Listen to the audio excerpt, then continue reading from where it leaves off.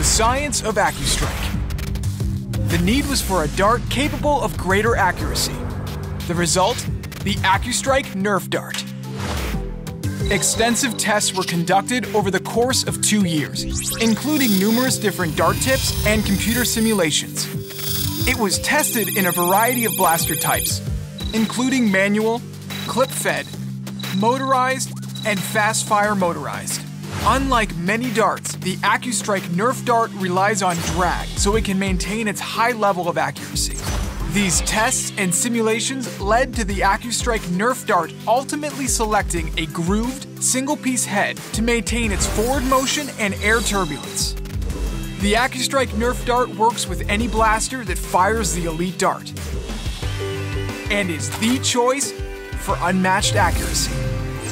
The AccuStrike Nerf Dart. It's Nerf or nothing.